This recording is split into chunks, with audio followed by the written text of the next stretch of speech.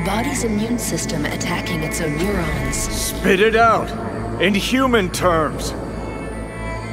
V will die independent of what I do. This is inevitable.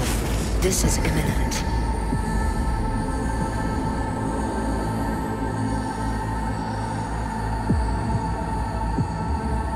For fuck's sake, Alt.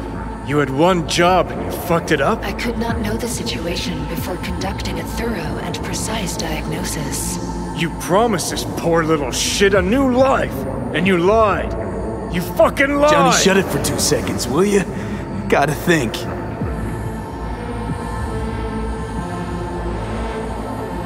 Gonna be alright, V. Think I said, something. give me one fucking minute.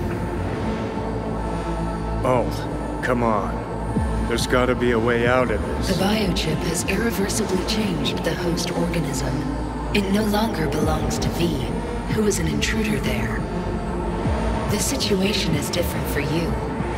All changes were made to accommodate you. Hang on.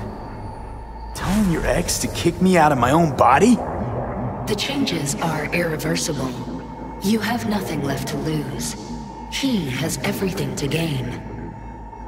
I will not interfere in your personal affairs, but while Johnny has full control, he can do what he wishes.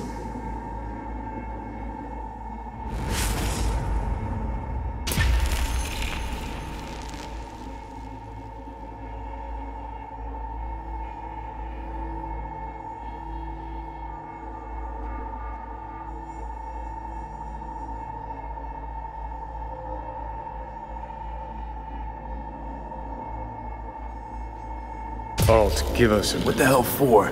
So you can trick me into agreeing? Giving you a free pass, even though you can already do what you want with my body?